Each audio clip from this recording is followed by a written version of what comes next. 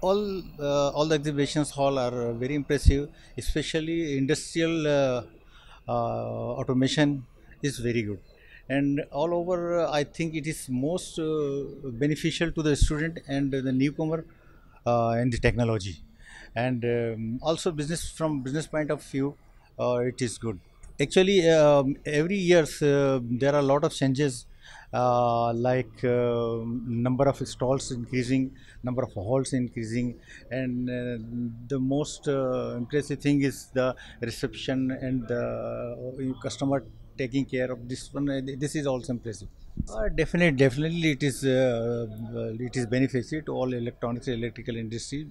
So many uh, foreigners are also participating in it, and local people are also there. So it is a very good platform to see, to visit the stall and discuss with the foreigners and attend the sessions of uh, seminars, everything. That's good. I already told you this organization is improving uh, day by day.